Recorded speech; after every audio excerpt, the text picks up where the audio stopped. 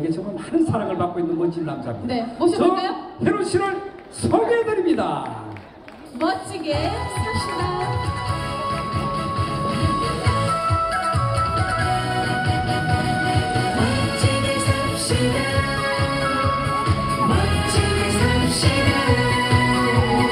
내 목숨은 저들에 맡기고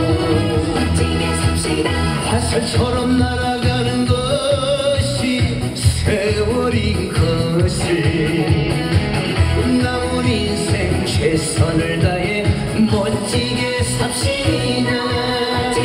그동안 고생한 나를 나를 최고로 알고 나를 나를 잘 대접합시다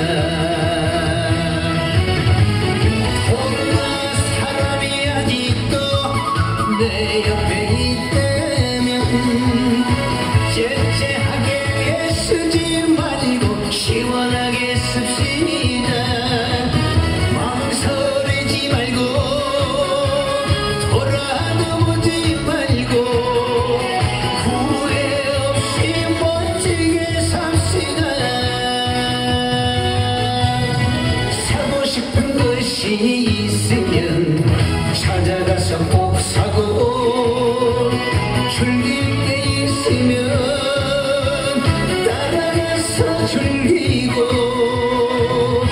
그렇게 멋지게 삽시다